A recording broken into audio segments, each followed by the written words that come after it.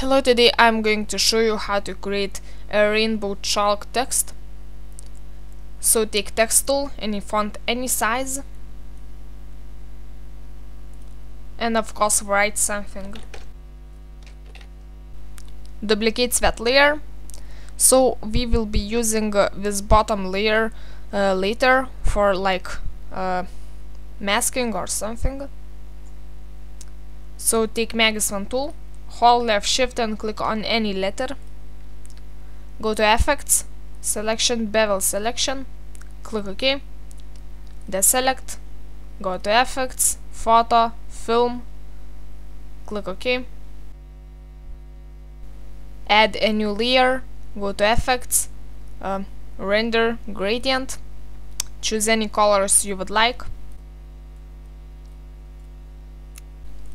Go to that layer properties and change blending mode to additive. Click OK.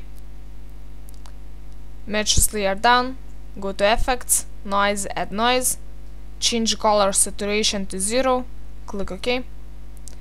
Go to effects, distort, frosted glass, and of course click OK. So you can use this like for backgrounds or something uh, but if you want to crop out the text uh, then go to bottom layer hold left shift and click somewhere outside text.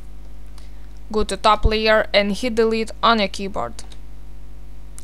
Then go to effects object outline object or drop shadow and just make your outline or shadow or something. And that's it. So thanks for watching and I see you next time. Bye